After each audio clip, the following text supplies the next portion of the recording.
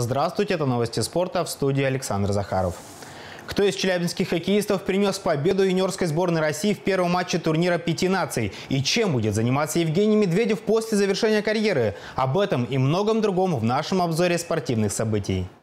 Евгений Медведев объявил о завершении карьеры. Двукратный чемпион мира и России отказался назвать причины. «Я закончил и не считая нужным это обсуждать». Кроме того, спортсмен заявил, что после завершения выступления он будет помогать хорошим людям и проводить время с семьей. 37-летний Медведев выступал за Челябинский Мечел, Северсталь, Акбарс, Филадельфию Флайерс и Авангард. В составе Акбарса становился победителем регулярного чемпионата КХЛ и обладателем Кубка Гагарина. Со сборной России хоккей завоевал золотые медали на чемпионатах мира 2012 и 2014 2014 годов.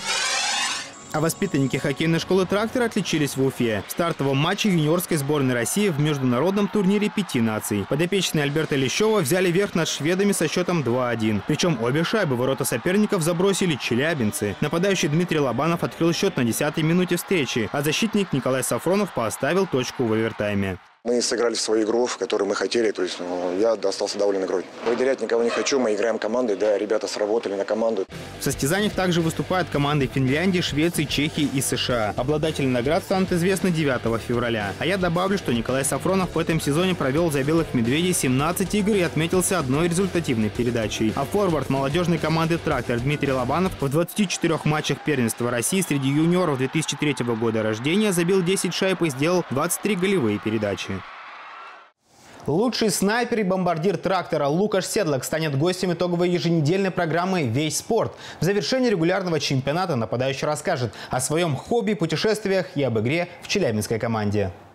Ему нравится хоккей, футбол, горные лыжи и теннис. В свободное время – путешествия. Любимым местом отдыха называют Корсику. Лукаш Седлак рассказывает, как ему удалось стать лучшим бомбардиром и снайпером трактора, отмечает своих партнеров по команде и делится мыслями об оставшихся матчах регулярного чемпионата.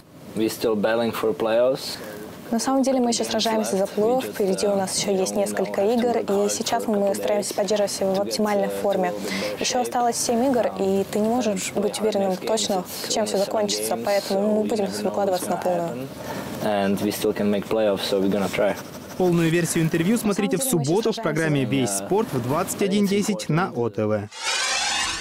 Челябинская область вошла в десятку наиболее эффективных регионов по реализации комплекса ГТО. По данным Министерства спорта, наш регион занял девятое место, опередив Республику Татарстан. Для сравнения, полтора года назад, в июле 2018 года, Южный Урал занимал 24-ю строчку рейтинга. Отмечу, что на сегодняшний день в регионе работают 54 центра тестирования населения, где каждый желающий может выполнить нормы ГТО о водном поло. Златоустовская «Уралочка» одержала 4 победы в пяти матчах домашнего тура чемпионата России. Команда Михаила Накорякова уступила только клубу из Ленинградской области. На финише турнира обыграла основного конкурента волгоградский «Спартак» со счетом 10-8 и разгромила Диану из Санкт-Петербурга 19-6. По итогам трех туров «Динамо Уралочка» находится на втором месте в турнирной таблице, уступая всего два очка многолетнему лидеру клубу Кинефу Сургутнефтегазу.